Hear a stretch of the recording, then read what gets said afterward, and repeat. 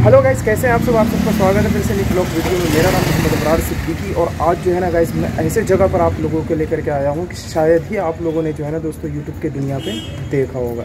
जी दोस्तों अब ये जो मेरे पीछे देख रहे हो ना दोस्तों, ये है सायरा बानो का घर।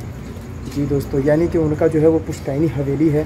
तो आज की वीडियो में जो है ना दोस्तों, मैं आप लोगों को सायरा बानो का अंदर से, बाहर से पूरा घर जो है वो हवेली दिखाने वाला हूँ, पुश्तैनी हवेली, ठीक है? और इससे जुड़ी जो भी इंफॉर्मेशन है, वो सब जो है ना दोस्तों, आज की इस वीडियो में मैं आप लोगों को बताने वाला हूँ। तो आज का वीडियो जो है ना गाइज़ वो हिट से ज़्यादा सुपर डुपर लिट होने वाला है। और गाइज़ अगर आप ब्लॉगर हैं तो इजीली जो है ना दोस्तों, यहाँ पर आ सकते हैं। मैं आप लोगों को लोकेशन मैं बता के चलूँगा इस वीडियो में तो चलिए दोस्तों, इस वीडियो को हम शुरू करते हैं। दोस्तों, पुरानी दिल्ली में जो है ना दोस्तों, एक से एक ऐतिहासिक जगह जो है ना दोस्तों, वो छुपा हुआ है। पुरानी दिल्ली के तंग गलियों में जो है ना दोस्तों, हम ढूंढ ढूंढ करके जो है ना दोस्तों, ऐतिहासिक मोमेंट जो है दोस्तों, वो हम निकाल रहे हैं। तो पुरानी दिल्ली में जो है ना दोस्तों, मैंने आप लोगों को दिखाया था नमक हराम की हवेली। उसके बाद जो दिखाया था, हमने दिखाया था जीनत महल। और अब जो है दोस्तों, हम आप लोगों को दिखा रहे हैं यह है सायरा बानो का महल, पुश्तैनी हवेली।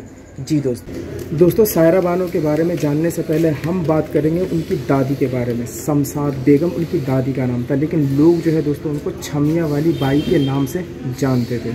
जी दोस्तों, यही वो हवेली है जिसके अंदर छमिया वाली बाई जो है अपने नाच गाने की प्रैक्टिस किया करती थी, लोगों को लोगों को जो है ना दोस्तों, वो सिखाया भी करती थी।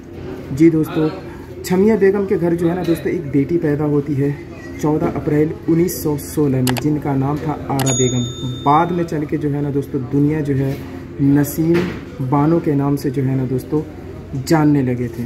जी दोस्तों, नसीम बानो जो है दोस्तों, जब पैदा हुई थी तो उसकी माँ ने जो है दोस्तों, वो ये सोचा कि कहीं मेरी बेटी भी जो है ना दोस्तों, लोग जो है उसको नाचने गाने वाले के नाम से न पुकारने लगे। क्योंकि उस ज़माने में जो है ना दोस्तों, नाचने गाने वालों को जो है ना बहुत बुरा नज़र से देखा जाता था। उसके बाद जो है दोस्तों, छमिया वाली बाई ने ये सोचा कि मैं अपनी बेटी आरा बेगम को जो है ना दोस्तों, मैं डॉक्टर बनाऊँगी। ठीक है? नसीम बानो को।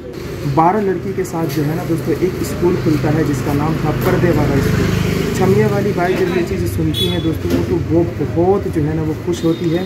और उसके बाद जो है ना दोस्तों, छमिया वाली बाई जो है नसीम बानो को डॉक्टर बनाने का सोचती है। लेकिन दोस्तों, नसीब को जो है वो कुछ और ही मंजूर था। कहते हैं लोग जैसा माहौल में रहते हैं, ऐसा ही माहौल में जो है वो ढल जाते हैं। छमिया वाली बाई जो है दोस्तों, उनका सपना जो है वो पूरा नहीं हो पाता है। और नसीमा बेगम बनती है फिल्मी दुनिया की सबसे बड़ी सुपरस्टार जिसे लोग नसीम बानो के नाम से जानने लगे थे।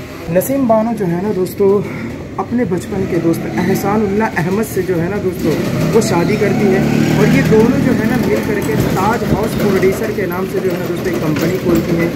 एक से एक सुपर हिट मूवी जो है ना दोस्तों, वो देती रहती है। जी दोस्तों, और नसीम बानो के जो है ना दोस्तों, वो दो बच्चे थे, एक बेटा और एक बेटी। एक बेटा जो है दोस्तों, सुल्तान अहमद सबसे बड़ा वाला बेटा और दूसरी जो थी दोस्तों, वो सारा बाना, जो बेहद ही सुंदर थी। नसीमा बेगम का शादी जो है दोस्तों, वो बिल्कुल सही चल रहा था और उन्नीस सौ सैंतालीस में जो जंग आज़ादी की लड़ाई हुई, जिसमें बंटवारा हुआ था हिंदुस्तान का, उसमें जो है ना दोस्तों, उनके जो एहसानुल्ला हक जो पति थे वो जो है ना दोस्तों, वो चले गए पाकिस्तान।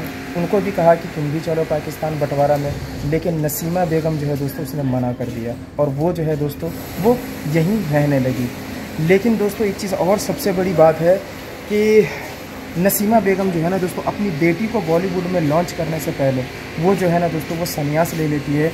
इस वजह से कि कहीं जो है ना फिल्मी दुनिया में जो है ना दोस्तों, वो ये कंपटीशन ना चलने लगे कि माँ ज़्यादा खूबसूरत है या बेटी ज़्यादा खूबसूरत है। जी दोस्तों, दोनों एक पर एक जो है ना दोस्तों, वो खूबसूरत ही थी।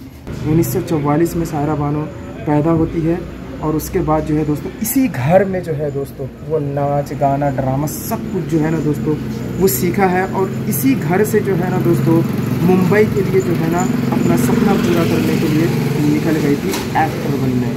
जी दोस्तों, और ये भी बताया जाता है दोस्तों कि सायरा बानो जो है दोस्तों, उसको फिल्मी दुनिया में बहुत ज़्यादा इंटरेस्ट था।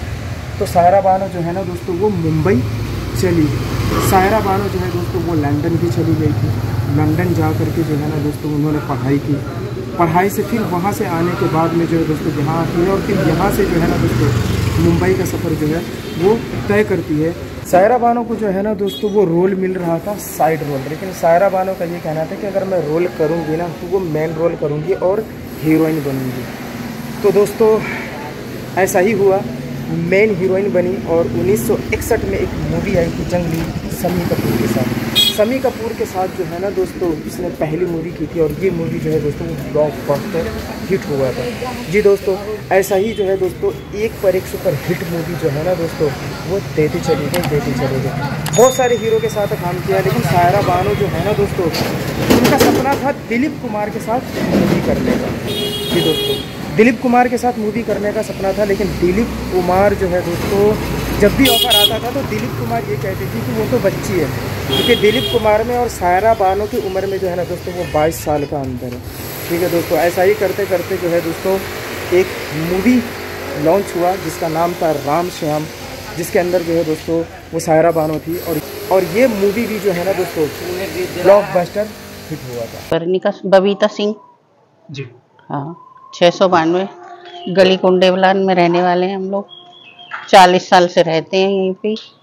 यहीं पे हमारे बच्चों की एजुकेशन हुई है, यहीं पे पढ़े हैं, लिखे हैं, शादी, ब्याह, सब कुछ हुआ है यहीं पे। ये देखो जी, कहते तो सायरा बानो जी की है, सायरा बानो की मदर की, उनकी। या सायरा बानो की कुछ लोग कहते हैं सायरा बानो की नानी की है ये। लेकिन वो आज तक आए नहीं है है? बस ये है उन्होंने केस वेस डाल रखे हैं हमारे ऊपर। कोर्ट में भी वो कभी नहीं आए। कोर्ट में भी नहीं कभी आया क्योंकि आदमी है वो आता है। वो आता है हाँ। वो भी अब नहीं आता। अब उन्होंने डिक्लेयर करा है कि वो अब हमारे हमने उसकी नौकरी से उसे हटा दिया है। हाँ तो अब कोई नहीं आता है। और वैसे हमें परेशान नहीं करते लेकिन वैसे कोर्ट में मुकदमे करते हैं। पैंतीस साल से मुकदमा लड़ रहे हैं हम लोग। कई अंग्रेज़ लोग भी देखने आते हैं। हाँ गार्ड लेकर आता है यहाँ पे उनको। और कम से कम पच्चीस साल से अंग्रेज़ लोग इसे देखते हैं इसकी स्टडी करते हैं। आता रहता है आदमी कोई ना कोई दस दस आदमी। आते रहते हैं वो लोग। आते हैं देखते हैं और ये हेरिटेज में है। ये कम से कम पिचानवे साल तो सौ साल ऊपर सौ हो गया। हाँ सौ नाम महेंद्र सिंह है मैं चालीस साल से रहता हूँ यहाँ पे। मेरे को सायरा मैडम ने कभी भी मुझे परेशान नहीं करा ना कुछ कहा। पर उनका एक आदमी आता है, वो हमारे को केस वेस डालता रहता है और बाकी वैसे वो करता है और लोगों से खाली भी कई कराए हैं उसने ज़रूरत पर वो आदमी उन्होंने निकाल दिया है। सिर्फ़ एक बारी बात हुई उनसे तो मेरे से बहुत अच्छी तरह मेरी पूरी तसल्ली करके उन्होंने मुझे को ना खाली करने के लिए कहा, ना कुछ कहा। गाना गाती थी नसीम बानो, शमशाद बेगम, नीचे गाना गाती थी। यहाँ पर टुन टुन भी आती थी, वो यहाँ सफ़ाई वाली थी, लेकिन उनके पास बैठी रहती थी, उनसे बैठ बैठ के उनके बाद गाना सीखती रही है। आज टुन भी गाना उमा देवी के नाम से जाना जाता है उनको। गाना गाती हैं वो, बहुत अच्छा गाना गाती हैं। बाकी शमशाद वगैरह, सायरा बानो जो थी, यहीं पर बचपन उसका यहीं पर ही बीता ज़्यादातर। छत पे जाती थी वो ऊपर ऊपर आस पड़ोस में बातें चीतें करती थी। तो गाइज़ मैंने जो है ना, आप लोगों को जो है ना, सायरा बानो का हवेली अंदर और बाहर सबसे जो है ना, दोस्तों, मैंने आप लोगों को व्यू दिखा दिया है, ठीक है? और अगर आप लोग जो है ना दोस्तों यहाँ आना चाहते हैं, किसी से भी पूछोगे आप दोस्तों कि कुंडे वालान गली हमें जाना है, यहाँ से चौड़ी बाज़ार मेट्रो स्टेशन एक नंबर गेट से बाहर निकलोगे तो मुश्किल से जो है ना दोस्तों आप लोगों को पैदल आने में एक मिनट लगेगा। और यहाँ पर सीधे आने के बाद में जो है ना दोस्तों आप किसी से भी पूछना कि मुझे कुंडे वालान गली जाना है। दोस्तों जैसे आप कुंडे वालान गली के अंदर से जो है ना दोस्तों जब एंट्री मारोगे तो ये वाला जो रास्ता है दोस्तों, यहाँ आप देख सकते हो। ये वाला जो रास्ता है ना, एक रास्ता उस तरफ़ भी गया हुआ है तो उधर नहीं जाना आप लोगों को। इस रास्ते से ऐसे निकलते हुए इस तरफ़ आना है, और जब इस तरफ़ आप आओगे दोस्तों तो यहाँ सामने में जो ये वाला जो घर देख रहे हो दोस्तों, यही है सायरा बानो का हवेली। तो आई होप कि व्लॉग जो है गाइज़ आप लोगों को पसंद आया होगा। अगर पसंद आया दोस्तों तो प्लीज़ मेरे इस चैनल को सब्सक्राइब ज़रूर कीजिए और बेल आइकन को ज़रूर दबाइए, ताकि आने वाली वीडियो की नोटिफिकेशन जो है वो आप लोगों को मिलती रहे। फिर मिलेंगे हम नेक्स्ट वीडियो में नेक्स्ट ब्लॉग में, तब तक अपना ध्यान रखिए। अल्लाह हाफिज़।